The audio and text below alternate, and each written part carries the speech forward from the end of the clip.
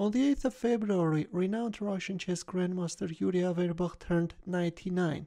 He is the oldest living chess grandmaster. At his prime, he was a pretty strong player, cross swords with the strongest players of the era, many of whom he beat.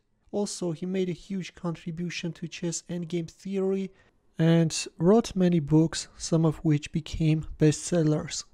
In this video, I want to give credit and uh, cover for you one of his games. In this game, Averbakh is on the white side and he's playing against Soviet Russian chess master Lev Aronin. The game was played in 1954 at the second Soviet Team Cup. This is a game played in round 4 and Averbakh opened up with c4. Aronin answered with knight f6, knight c3 g6, e4 d6 d4. With the transposition of moves we see the good old king's Indian defense. Bishop e2, black castled kingside and bishop g5. Here is what Averbakh writes. At that time the theory of this variation which later became known as the Averbakh variation was only just being developed and my opponents tried various plans against me. So this line is nowadays known as Averbakh variation, the short-term goal of which is to stop black from going for e5. In the game we see c5, this is the main move, d5 and h6. Usually this is how black is meeting white's bold bishop jump, is playing h6 and then g5 in order to unpin the knight and go for e6. Uh, but black is doing this at the cost of somehow weakening his king side.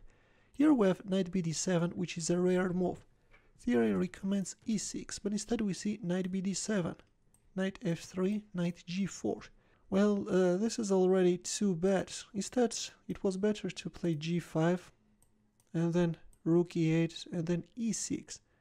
Instead, we see knight g4. Black wants to occupy the e5 square with one of his knights. Already, white is taking under attack this h6 square, and now h3 can be a nice threat.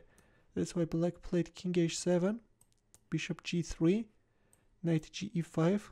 An exchange of knights on e5 followed. Oops, at this point we see uh, bishop takes e5, sorry, and f4. White is enjoying a very pleasant position and already there are several problems in black's camp. Right now we have another attacked piece. Bishop goes back on f6 and Averbakh castled kingside. g5. This is already a catastrophic move. It was better to play a6 followed by b5 and then knight b6 at the cost of a pawn sacrifice somehow to create a counterplay on the queen side. Instead we see g5 and a very strong move by Averbakh e5. The idea of the sacrifice is to open up this diagonal. d takes e5. At this point we first see f takes g5 and after bishop takes g5 we see bishop d3 check, king g7, queen e2. With queen e4 white wants to penetrate black's camp. Rook h8. With this move black is covering the h7 square but Moving away the rook from f8 square is making the pawn on f7 vulnerable. And now Averbakh will emphasize that fact. d6, e6. Well, if e takes d6, then knight takes d6.